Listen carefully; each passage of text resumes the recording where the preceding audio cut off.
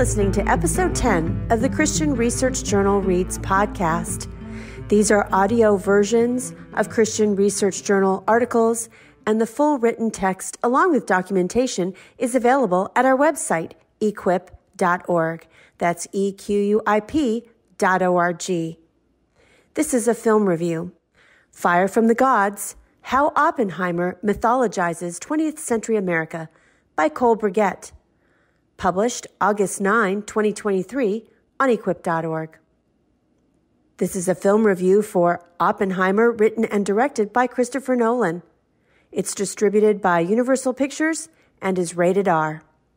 This film review contains many spoilers for Oppenheimer. Tragic figures are often complex, multifaceted characters with inscrutable, usually conflicting motivations.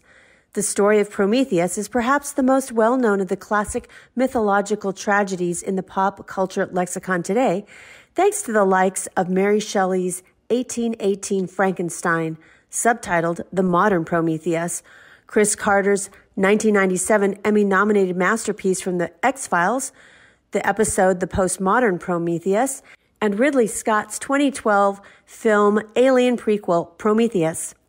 By simply invoking the name of the character, a creative communicates themes of forbidden knowledge, perpetual suffering, and the grotesque.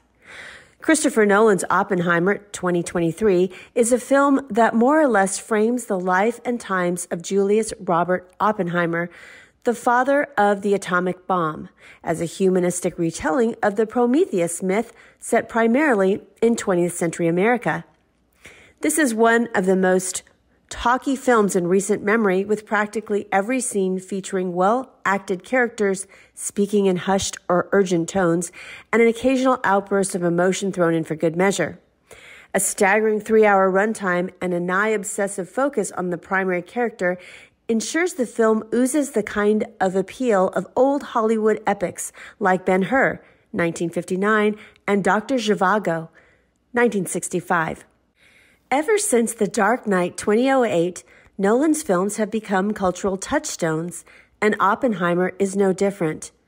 Despite being set throughout the early to mid 20th century and tackling timeless themes, none of his previous films have felt more of the moment. Philosophically, the film explores the tug of war between fascism and communism that characterized American politics during the Second World War and immediately thereafter. But in Nolan's hands, these ideas seem no less relevant to the current political landscape, contributing to the film's clearly defined sense of purpose as a kind of modern, albeit lengthy, parable that contemplates the psychological and emotional toll of genius the destroyer of worlds. The connection between myth, religion, and Oppenheimer is not subtle in Nolan's film. Pop culture has kept the memory of Oppenheimer alive through the infamous quote, quote, Now I have become death, the destroyer of worlds, end quote. This line is lifted from the Bhagavad Gita, a Hindu religious text. Sanskrit scholar Stephen Thompson does a good job of explaining the quote contextually in both the Gita and as Oppenheimer used it, as well as heightening the connection to the theme of forbidden knowledge that runs throughout the film when he recognizes that, quote, the physicists have known sin, and this is a knowledge which they cannot lose, end quote. As a result, Nolan's version of Oppenheimer comes across as a mythological and apocalyptic, perhaps even semi religious figure. Like many other auteur directors, there's a clear through line that threads Nolan's work together. If one were shown five minutes of an unreleased film and not told that Nolan directed it, one could still identify it based on the cinematography, the dialogue, and the seemingly constant thrum of nerve creating music running beneath each scene. Much of Oppenheimer, unsurprisingly, was inspired by the work Nolan put into the time traveling thriller Tenet 2020, especially alongside Robert Pattinson, who gifted him a book of Oppenheimer's speeches towards the end of the shoot. These seeds of initial fascination developed into something close to an obsession for Nolan, as reflected in the way the film has an almost morbid fixation on Oppenheimer himself. Cillian Murphy, who plays the character, is in practically every shot of the movie. His sunken features and haunted stare tinge every scene with a kind of melancholy, and one gets the sense that Murphy's Oppenheimer is a kind of dark prophet, someone who has been cursed with the ability to see into the quantum realm and witness the destruction of the world. That might come across as somewhat lofty and pretentious, but make no mistake, that is exactly what Nolan intended. In an interview with the New York Times, Nolan had the following to say when asked about production notes for the film, characterizing Oppenheimer as, quote, the most important person who ever lived. Quote, in Hollywood, we're not afraid of a little hype. Do I genuinely believe it? Absolutely, because if my worst fears are true, he'll be the man who destroyed the world. Who's more important than that? I think it's very easy to make the case for Oppenheimer as the most important person who ever lived. His story is central to the way in which we live now and the way we are going to live forever. It absolutely changed the world in a way that no one else has changed the world. You talk about the advent of the printing press or something.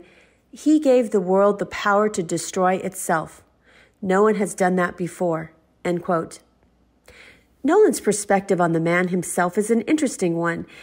It really makes one wonder what Nolan would do with a film about the life of Jesus of Nazareth. Perhaps it is the fundamentalist in me, but I think I would agree with Nolan that the man who destroys the world would be the most important man who ever lived. Nolan wrote Oppenheimer, and John wrote Revelation. I have watched one and read the other, and I cannot help but wonder if Oppenheimer is Christopher Nolan's Apocalypse. An American Tragedy. The film is based on the Pulitzer Prize winning book by Kai Bird and Martin J. Sherwin, American Prometheus The Triumph and Tragedy of J. Robert Oppenheimer, the subtitle of which serves as an apt descriptor for how Nolan frames the narratives surrounding the physicist. The filmmaker cannot singularly be credited with casting Oppenheimer in a mythic light, or even as a romantic figure in the classical sense. Indeed, many biographers have come along through the years seeking to depict Oppenheimer more sympathetically as a tragic figure whose past comes back to haunt him. Early in his life, upon discovering politics, Oppenheimer developed associations with the American Communist Party Yet his politics were frequently as theoretical as his scientific endeavors, which is why, despite years of surveillance and tapping phones, government agents never managed to prove that Oppenheimer was, in fact, a dedicated communist. These early connections to Communist Party activists, however loose, would become the focal point of a government investigation in Oppenheimer's later years that ultimately led him to being discredited in the political sphere. Nolan, as others before him, no doubt taking a cue from American Prometheus, uses these details as an opportunity to position Oppenheimer as a victim of the Red Scare. Despite the fact that politics is, in the real world, a sea of murky waters, Nolan's film has clear heroes and villains. Edward Teller, Benny Safdie, for example, is portrayed as the turncoat scientist who throws Oppenheimer under the bus during security hearings spun up by the cerebral machinations of Lewis Strauss, Robert Downey Jr., in a virtual witch hunt that resulted in Oppenheimer's security clearance being revoked and his, quote, virtual expulsion from the physics community, end quote. Characterizing Oppenheimer as a victim of 20th century politics makes for a tragic arc, but it nevertheless becomes quite difficult to argue that Nolan's portrayal of him is entirely compassionate. The man is also shown to be a self absorbed womanizer whose huge intellect belies his terrible insecurities. This facet of the man's life is, perhaps, less well known than the others, but has nonetheless been documented over the years. What begins to emerge over the course of the film's three hour runtime is a complex, conflicted figure who becomes, in a very real sense, his own worst enemy. And this, of course, is what makes tragic figures work literally.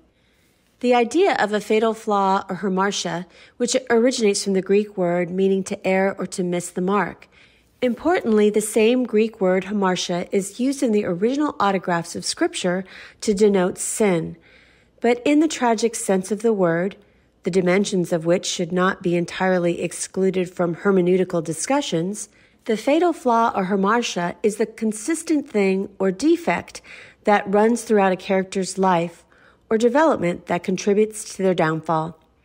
This is usually something that arises from within the character that plagues them throughout the narrative, less Achilles' heel and more Achilles' hubris. Consider, by way of example, the anger and ambition of Anakin Skywalker, which Palpatine manipulates across the three Star Wars prequels. Or, more traditionally, Oedipus's overconfidence in his own reasoning in Oedipus Rex.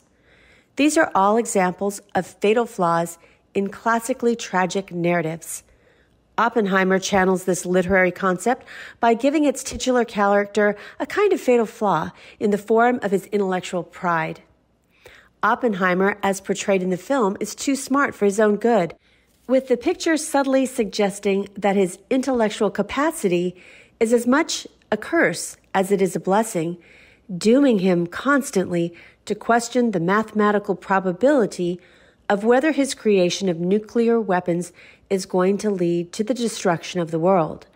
And not only this, but the pride Oppenheimer takes in being the smartest man in the room and making advances towards women, and his intellectual curiosity, which pushes him to flirt with communist ideals and bring in unconventional personnel to work on the bomb project, all contribute to his eventual undoing at world's end. There's no debating that Oppenheimer casts a giant shadow over the modern era, and Nolan's point about the man's importance to history is well taken. Biographical films like this one often make splashes, and this is a film that is sure to clean house during awards season. For years to come, reviewers and film critics will spill untold amounts of ink writing about the film's warnings regarding unchecked nationalism or its old school liberal political philosophy, which is not necessarily a bad thing, as it looks nothing like the kind of nonsense frequently propagated today. This review has intentionally avoided picking those particularly low hanging fruits. Instead of taking the bait and quibbling over the details that the film itself leaves vague, at one point in the back half of the picture, Teller flat out tells Oppenheimer that no one knows what Oppenheimer actually believes about anything or what his convictions are, politically or otherwise.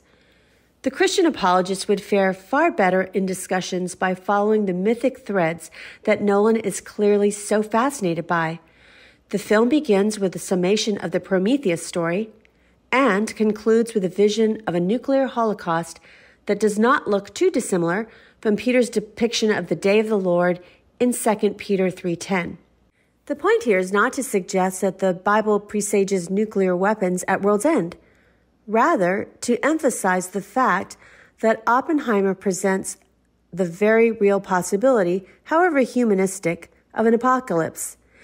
The film mythologizes the story of the advent of nuclear bombs as the quote, beginning of the end, end quote, and the man at the center of the story as a tragic figure and kind of prophet whose thirst for knowledge has very likely, in Nolan's estimation at least, put the world on an irreversible course towards its own destruction. Christians today frequently relegate discussions of eschatology to exclusively theological circles. It has become something of a cliche to suggest that the only people of faith who care about how the Bible story ends are raving fundamentalists who are haunted by fever dreams of black helicopters after reading about locusts and the less said about the pretentious, condescending Christian who suggests that eschatology is something of a theological footnote because their shaky hermeneutics cannot help them square what a plain reading of the scripture makes very clear, the better. Oppenheimer demonstrates quite clearly that perhaps the biggest filmmaker of the modern era is absolutely fascinated by the apocalypse. And the box office reflects an appetite among people to see these kinds of stories told. For as much as the film reflects an obsession with J. Robert Oppenheimer, it also reflects an apocalyptic vision of the future in which nuclear war incinerates the earth. Perhaps it's time evangelicals let some of those fundamentalists rant and rave for just a little while, or at least take a page from their proverbial book. There's an old adage among Christians who tend to avoid eschatological topics that says, quote, you cannot scare one into heaven, end quote. Well, if Christopher Nolan is right about J. Robert Oppenheimer, then it's probably time to stop using that particular maxim. After all, the difference between John's ancient text and Nolan's modern movie is that only one of them ends with a rescue. Thank you for listening to the Christian Research Journal Reads podcast. You won't want to miss out on the other podcasts from the Christian Research Institute. Please subscribe to the Hank Unplugged podcast, where CRI president and host of the Bible Answer Man broadcast, Hank Hanegraaff, takes you out of the studio and into his study to engage in free flowing, essential Christian conversations on critical issues with some of the most interesting, informative, and inspirational people on the planet. On the Bible Answer Man broadcast, Hank Hanegraaff answers questions from listeners every weekday, and you can catch a Best of the Bible Answer Man on Saturdays. In addition, you won't want to miss out on all new articles and author conversations and interviews on the Postmodern Realities podcast, which features new articles from the Christian Research Journal and conversation with those articles' authors. So please explore our website at equip.org. And thank you for connecting to the Christian Research Institute.